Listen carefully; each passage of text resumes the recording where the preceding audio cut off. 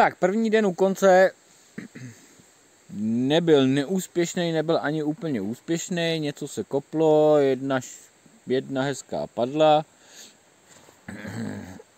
Dneska nejsem obytňákem, dneska jsem oktávkou, Milan je ve stanu. Eh, máme sebou zase toho mojeho dravce, když se na to moc netváří, protože v tomhle tomu je zima v tuto chvíli, nebo ne v tuto chvíli, ale v toto, v toto roční období je jí zima. Eh, potýkám se s baterkama, tahle už došla za jeden den, už je asi mrtvá, eh, no mám ještě jednu a mám ještě tamhle tu. Potýkám se se spoustoma věcma, který jsem zapomněl, no ale aspoň padla jedna hezká, zítra přijede bandička, takže bude fajn.